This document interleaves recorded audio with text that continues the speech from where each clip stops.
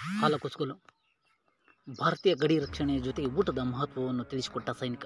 ಹೌದು, ಧಾರವಾಡ ಜಿಲ್ಲೆಯ ನವಲಗುಂದ ತಾಲೂಕಿನ ಸುಕ್ಷೇತ್ರ ಹಾಲಕುಸ್ಕಲ್ ಗ್ರಾಮದಲ್ಲಿ ಹಬ್ಬದ ವಾತಾವರಣಕ್ಕೆ ಸಾಕ್ಷಿಯಾಗಿತ್ತು.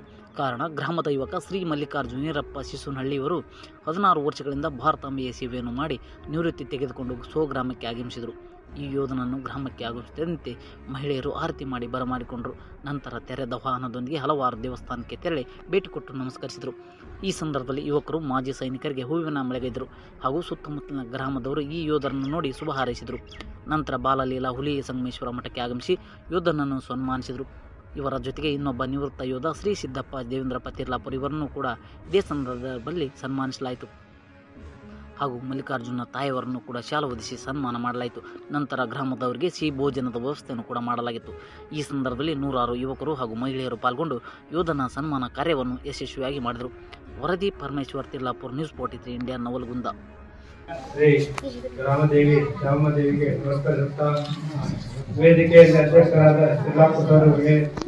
ಹಾಗೂ ಪ್ರಧಾನ ಗುರುಗಳಿಗೆ ಹಾಗೂ ಗುರುಗಳಿಗೆ ಅವರ ಮಾತೆಗೆ ನಮಸ್ಕರಿಸುತ್ತಾ ಊರಿನ, ಊರು ಹಿರಿಯರಾದ ಬಂಧು ಬಂಧು ಬಂಧು ಬಳಗದವರಿಗೆ ಅನುಭವದ ಮಾತುಗಳನ್ನು ಹೇಳಲು ಇಷ್ಟಪಡುತ್ತೇನೆ. ಇವತ್ತಿನ ನೀವು ಮಾಡಿದಂತ ಸಮಾರಂಭ ಮತ್ತು ಮೆರವಣಿಗೆಯನ್ನು ನಾ ಹೇಳಲಾಗದಷ್ಟಂತ ಅದ್ದೂರಿಂದ ನೆರವೇರಿಸಿಕೊಟ್ಟಿದ್ದೀರಾ ಅದಕ್ಕೆ ಯಾವಾಗಲೂ ನಾ ಚಿರಋಣಿಯಾಗಿರ್ತೀನಿ. ನನ್ನ ನನ್ನ, ನಾನು ಎರಡ್ ಸಾವಿರದ ಎಂಟರಲ್ಲಿ ಇಂಡಿಯನ್ ಆರ್ಮಿಗೆ ಭರ್ತಿಯಾಗಿ ಹೋಗಿದ್ದೆ. ಅದಕ್ಕಿಂತ ಮುಂಚೆ ನಾನು ತುಂಬಾ ಕಷ್ಟಪಟ್ಟಿದ್ದೆ ಬೆಳಗ್ಗೆ ಎದ್ದು ಓಡ್ತಾ, ಏನೇನೋ ಮಾಡ್ತಾ ಮಾಡ್ತಾ ಏನೇನೋ ಕಿಸ್ಮತ್ ಸಾಥ್ ಕೊಟ್ಟು ಅವಾಗ ನಾನು ಮಿಲಿಟರಿ ಸೇರ್ಕೊಂಡೆ. ಆಮೇಲೆ ನಾನು ನಾಸಿಕ್ಕಿಗೆ ಟ್ರೈನಿಂಗ್ ಅಂತ ಹೋದಾಗ ಒಂದು ತಿಂಗಳು ನನಗೆ ಏನಂತಾನೆ ಗೊತ್ತಾಗ್ತಾ ಇಲ್ಲ ಅವಾಗ. ಏನು ಹೋದೆ, ಏನ್ ಮಾತಾಡ್ತಾ ಇದ್ದಾನೆ, ಏನಂತಾನೆ ಅರ್ಥ ಆಗ್ತಾ ಇಲ್ಲ. ನಮ್ಮ ಮೊದಲಿಗೆ ಇಲ್ಲಿಂದ ಹೋಗ್ಬೇಕಾದ್ರೆ ನಮ್ಮ ಅಜ್ಜ ಹೇಳ್ತಿದ್ದ, ಇದು ಆರ್ಮಿ ಎಲ್ಲ ನಮ್ ಜನಕ್ಕಲ್ಲಪ್ಪ, ನಾವೆಲ್ಲ ನೀನು ನಿಂತ್ಕೊಳ್ಳಲ್ಲ, ಬೇಡ ಬೇಡ ಅಂತಂದ್ರು. ನನ್ನಲ್ಲಿ ಒಂದು ಹುಮ್ಮಸ್ ಇತ್ತು ನಾ ಧೈರ್ಯ ಮಾಡಿ ಹೋದೆ. ಆಮೇಲೆ ನಾನು ಮಾಡ್ತಾ ಮಾಡ್ತಾ ಮಾಡ್ತಾ ಆರು ತಿಂಗಳ ಕಾಲ ಸತತ ಟ್ರೈನಿಂಗ್ ಮಾಡಿದ್ಮೇಲೆ ಪೂರ್ತಿ ತೆಳಗಾಗಿ ಬಂದಿದ್ದೆ. ಏನು ಉಳಿದಿರಲಿಲ್ಲ. ಆಮೇಲೆ ಒಂದು ತಿಂಗಳು ರಜಾ ಕಟ್ ಮಾಡಿ ವಾಪಸ್ ಹೋಗ್ಬೇಕಾದ್ರೆ ಹೋಗಿ ಮನ್ಸಾಗ್ತಾ ಇಲ್ಲ. ಯಾಕಂದ್ರೆ ಒಂದು ತಿಂಗಳು ಬಂದ್ಬಿಟ್ಟು ಎಲ್ಲರೂ ಸೇರಿ ಜೊತೆ ಸೇರಿಬಿಟ್ಟೆ, ಆಮೇಲೆ ಆಗಲಿಲ್ಲ. ಆಮೇಲೆ ನಾವು ಹೋದೆ ಮತ್ತು ಆದರೂ ಧೈರ್ಯ ಮಾಡ್ಕೊಂಡು ಹೋಗ್ಬಿಟ್ಟು, ಆಮೇಲೆ ಅಡ್ವಾನ್ಸ್ ಟ್ರೈನಿಂಗ್ ಮಾಡಿ ನನ್ನ ಪೋಸ್ಟಿಂಗ್ ಬಂದಿದ್ದು ಫಸ್ಟ್ ಟೈಮ್ ರಾಜಸ್ಥಾನ್. ರಾಜಸ್ಥಾನಕ್ಕೆ ಹೋದ ತಕ್ಷಣ ಎಲ್ಲರೂ ಇಲ್ಲಿ ಟ್ರೈನಿಂಗ್ ಅಲ್ಲಿ ಇದ್ದವರೇ ಬೇರೆ ಜನ ಅಲ್ಲಿ ಬಂದವ್ರು ಬೇರೆ ಬೇರೆ ಜನ, ಆದ್ರೆ ನಮ್ದೆಲ್ಲ ಸೌತ್ ಇಂಡಿಯನ್ ಟ್ರೂಪ್ಸ್ ಇತ್ತು. ಅವಾಗ ಎಲ್ಲರೂ ನಾವು ಒಂದೇ ಪರಿವಾರ ತರ ಸೆಟ್ ಆದೀವಿ ಅಂದ್ರೆ ಅವ್ರು ರಜಾ ಹೋಗಂದ್ರೆ ಅವ್ನು ತರ್ತಾನೆ ನಾವು ಹೋದ್ರೆ ನಾ ತರ್ತೀನಿ, ಅಂದ್ರೆ ಒಂಥರ ಪರಿವಾರದ ಒಂದೇ ಕುಟುಂಬದವ್ರ ತರ ಇದ್ವಿ. ನಾವು ಇಲ್ಲಿ ಊರಿಗೆ ಬಂದಾಗ ಇಲ್ಲಿ ಅಷ್ಟೇ, ಅಲ್ಲಿ ಹೋದ ತಕ್ಷಣ ಊರ್ ಮರ್ತು ಬಿಡ್ತಿದ್ವಿ ನಮ್ಗೆ ಗೊತ್ತೇನೆ ಆಗ್ತಾ ಇರ್ಲಿಲ್ಲ.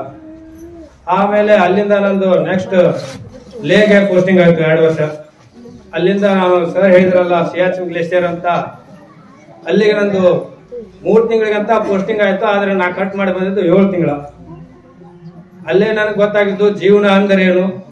ಜೀವನದ ಅನುಭವ ಏನು? ಊಟದ ಮಹತ್ವವೇನು?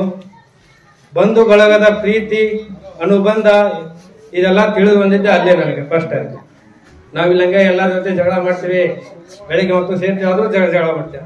ಅಲ್ಲಿ ಹೋದ ತಕ್ಷಣ ಗೊತ್ತಾಗಿತ್ತು ಇದೆಲ್ಲ.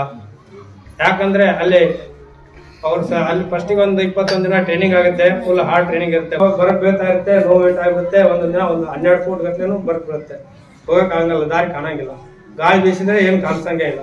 ತುಂಬಾ ಚಳಿ ಇರುತ್ತೆ ಹೊರ ನೀರು ಕುಡಿಬೇಕು. ಏನ್ ಮಾಡಕ್ಕಾಗಲ್ಲ, ಎಲ್ಲಾರ್ದು ಮತ್ತು ನಮ್ದು ಎಲ್ಲಾರ್ದು ವಜ್ಜೆ ಭಾಳ ಇರುತ್ತೆ. ದಿನಕ್ಕೆ ಭಾಳ ಅಂದ್ರೆ ಹನ್ನೆರಡು ಕಿಲೋಮೀಟರ್ ನಡಿಬೇಕಂದ್ರೆ ತುಂಬಾ ಆಗಿರುತ್ತೆ ಆಕ್ಸಿಜನ್ ಫುಲ್ ಕಡಿಮೆ ಇರುತ್ತೆ. ಅಲ್ಲಿ ಹೋದ ತಕ್ಷಣ ಎಲ್ಲ ನಾವು ಚಾರ್ಜ್ ತಗೊಂಡಿವಿ, ಮೂರು ಗಣ್ಣಿತ್ತು ಎಲ್ಲ ಎಮ್ನೇಷನ್ ಇತ್ತು, ಎಲ್ಲ ಚಾರ್ಜ್ ತಗೊಂಡಿವಿ, ಕಳಿಸಿದ್ವಿ.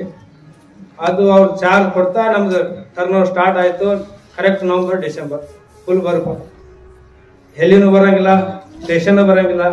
ನಾವು ಹೋಗಿ ಸುಮ್ಮನೆ ಜನ ಒದ್ಕೊಂಡು ನಾವೇ ತರಬೇಕು.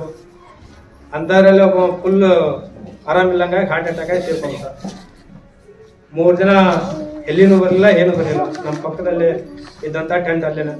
ಆ ಸ್ಲೀಪಿಂಗ್ ಬ್ಯಾಗ್ ಅಲ್ಲೇನೆ ಮಡಿದಂತ ಯೋಧನ ನಾನು ಮುಚ್ಚಿಟ್ಟು ಅವ್ನ ಬಾಜನ ಬರ್ಕೋತಿದ್ವಿ ಅಲ್ಲೇ ಊಟ ಮಾಡ್ತಿದ್ದೆ, ಏನ್ ಮಾಡಕ್ ಆಗಲ್ಲ ಪರಿಸ್ಥಿತಿ ಹಂಗಿರುತ್ತೆ ಏನ್ ಏನ್ ಮಾಡಕ್ ಆಗಲ್ಲ ಮತ್ತ ಊರಿಗೆ ಮಾತಾಡ್ಬೇಕಂತ ಅಂದ್ರೆ ಮೊದ್ಲೇ ಮಾತು ಹೊಟ್ಟಿನ ಹಸಿವಿಲ್ಲ ಜನ ಇರಂಗಿಲ್ಲ.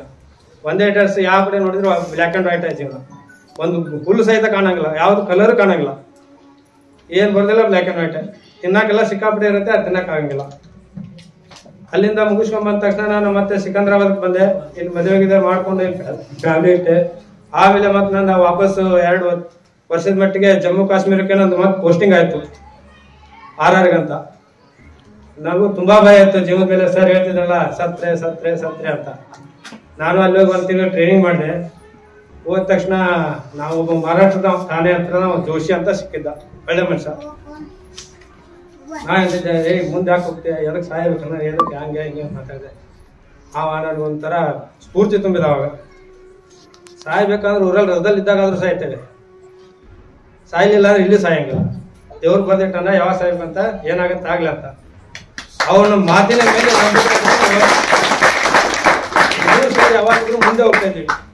ಪರ್ಮನೆಂಟ್ ಮುಂದೆ. ಮುಂದೆನೆ. ಅಲ್ಲಿಂದ ಆದ ತಕ್ಷಣ ಆದ್ರೂ ಸ್ಟಾರ್ಟಿಂಗ್ ಸ್ಟಾರ್ಟಿಂಗ್ ಇನ್ನೂ ಮೂರು ತಿಂಗಳು ಆಗಿರಲಿಲ್ಲ. ಹೋದ ತಕ್ಷಣ ಆಪರೇಷನ್ ಲಾಂಚ್ ಆಯ್ತು. ಕಾಟಕ್ ಪಿರ್ವಾಬ ಅಂತೇಳಿ. ಎರಡು ನದಿ ಬಂದು ಸೇರ್ತವೆ. ಒಂದು ಒಂದು ನಡಿ ದಡದಲ್ಲೇನೋ ಅದು ಎರಡು ನದಿ ಸೇರೋ ದಡದಲ್ಲಿ ಒಂದು ಮನೆ ಕಟ್ಟಿಗೆದು. ಮೊದಲಿಗಿನ ಇನ್ಫಾರ್ಮೇಶನ್ ಇತ್ತು ಹದಿನಾರು ಜನ ಉಗ್ರವಾದಿಗಳು ಇದ್ದಾರೆ ಅಂತ. ಅವ್ರು ಇರೋರು ಆರೇ ಜನ. ಮೆಸೇಜ್ ಸಿಕ್ಕಿದ್ದು ಹದಿನಾರು ಜನ. ಅವ್ರು ಉಳಿದವ್ರು ಎಲ್ಲಿ ತಪ್ಪಿಸ್ಕೊಂಡ್ರೆ ಗೊತ್ತಾಗಲಿಲ್ಲ. ಆಪರೇಷನ್